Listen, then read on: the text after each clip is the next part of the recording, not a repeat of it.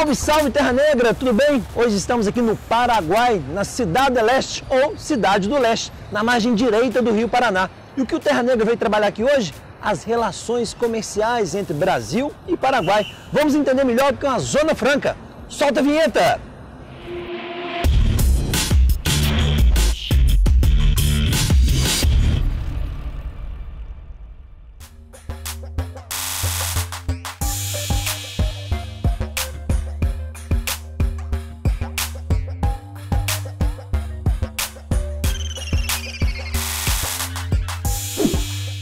Cidade Leste está distante 327 quilômetros de Assunção, capital do Paraguai.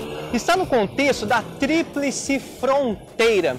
Aqui nós temos três cidades basicamente que se encontram. De um lado, no Brasil, nós temos a cidade de Foz do Iguaçu, Aqui, claro, no Paraguai, Ciudad del. E no contexto argentino, nós temos Puerto Iguaçu. Essas três cidades, portanto, formam o que nós chamamos de tríplice fronteira, o encontro de três cidades de três países. Estamos no contexto de uma zona franca, mas o que é uma zona franca? Zona é um espaço delimitado neste contexto. Franca porque ela é livre de impostos ou tem impostos que são extremamente reduzidos. Por isso, nós temos um grande dinamismo comercial. Essa cidade, Ciudad del Este, começou a crescer de forma significativa após a construção da Ponte da Amizade, o que viabilizou o deslocamento de pessoas oriundas do Brasil e, consequentemente, o comércio, que muitas vezes é feito de maneira ilegal. Ciudad del Este compõe cerca de 10% do PIB do Paraguai, um percentual bem significativo, e estima-se que aproximadamente 50 mil brasileiros residam nessa cidade e estão, em sua maior parte, ligada à atividade comercial. Destaca-se que no ano de 2000, aqui em Ciudad del Este, foi aprovada uma lei chamada de Lei das Maquila ou Lei Maquila. Segundo essa lei, quando uma empresa internacional se instala aqui com intenção de produzir para o mercado externo, ela terá isenções de impostos. Por isso, o Brasil, país vizinho, está se tornando um exportador de trabalho. Como assim? Exportador de trabalho. Várias empresas brasileiras deixam o nosso país e se instalam aqui. Por exemplo, em Ciudad del Este, em busca de vantagens comparativas, em busca de impostos extremamente reduzidos. E ainda, quando o produto sai daqui para o nosso país, ele recebe o selo Mercosul, o carimbo Mercosul. Isso faz com que o produto entre mais facilmente no nosso país em função de acordos comerciais. Vale a pena refletir o seguinte: o governo brasileiro tem que buscar alguma forma de reduzir os impostos no nosso país para que essas empresas não deixem o nosso território. É necessário sim uma reforma tributária no Brasil.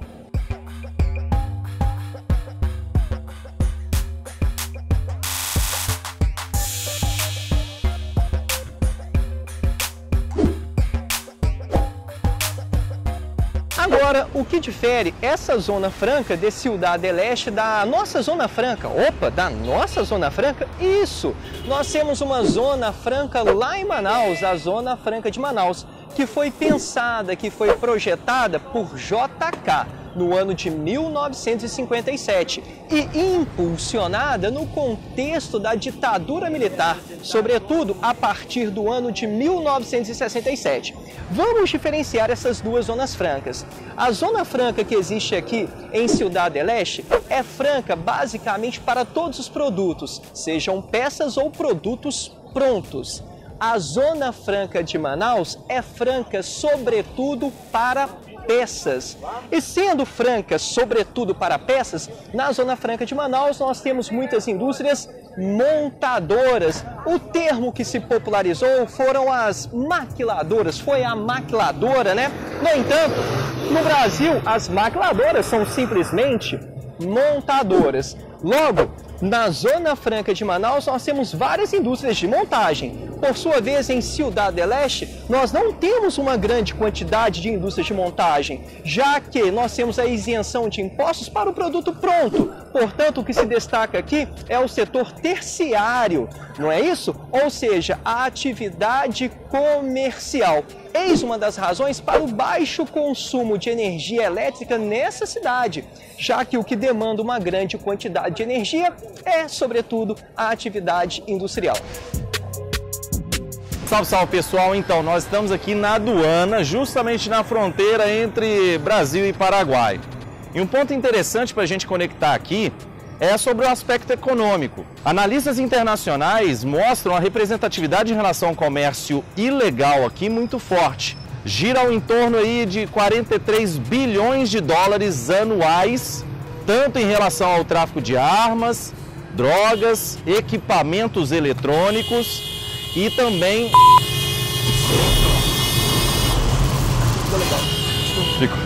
Olha só, tráfico de drogas, armas, equipamentos eletrônicos e muito cigarro também. Um ponto interessante é que aqui a tríplice fronteira, Porto Iguaçu, Cidade del Leste e também Foz do Iguaçu, era considerada nas análises internacionais como safe haven, ou seja, um porto seguro para atividades ilícitas. Por que isso? O principal aspecto que caracteriza essa região como um porto seguro para o contrabando seria a impossibilidade de uma polícia ultrapassar a fronteira do outro país. Então, portanto, a polícia brasileira, quando encosta aqui dentro do Paraguai, em termos jurisdicionais, não tem capacidade de investigação e, consequentemente, uma tríplice fronteira seria muito interessante para atividade ilícita. Além disso, internacionalmente, essa região, com destaque para Foz do Iguaçu, vem ganhando bastante destaque em relação ao terrorismo. Pois é, três grupos controlam atividades ilícitas aqui: o PCC, o Comando Vermelho e também o Hezbollah. Vale a pena a gente lembrar, e você está analisando agora, você está olhando agora, uma imagem de quando nós fomos para a fronteira entre Israel e o Líbano. A fronteira entre Israel e o Líbano é fechada e um dos principais componentes do fechamento dessa fronteira é o grupo terrorista criado no sul do Líbano, chamado Hezbollah. O Hezbollah opera fortemente aqui. A partir da década de 60, muitos imigrantes do mundo árabe vieram para Cidade del Este e Foz do Iguaçu, principalmente Foz do Iguaçu. Uma fatia pequena, mas existente, dessa comunidade árabe, principalmente libanesa, atua aqui como um braço do Hezbollah. Então, dois acontecimentos colocaram luz sobre a tríplice fronteira em relação a essas atividades ilícitas. O primeiro deles, com o envolvimento do Hezbollah, foi o atentado em Buenos Aires no ano de 1992. A partir desse mesmo ano, todos os anos, a Tríplice Fronteira é inserida nos relatórios anuais sobre o terrorismo no mundo.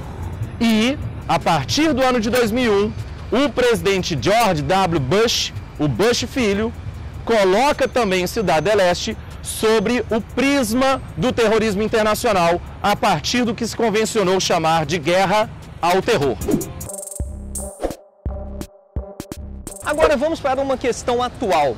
Estamos em janeiro de 2019 e nos últimos anos o real sofreu uma forte desvalorização perante o dólar sendo o mercado consumidor brasileiro extremamente importante para a dinamização dessa cidade, nos últimos anos nós temos uma basicamente uma crise aqui em Ciudad del Este. O comércio teve sim uma retração, sendo o mercado consumidor brasileiro o mais importante, à medida que o brasileiro perde poder de compra em função da desvalorização do seu papel moeda, é de se esperar que a atividade comercial sofra uma retração.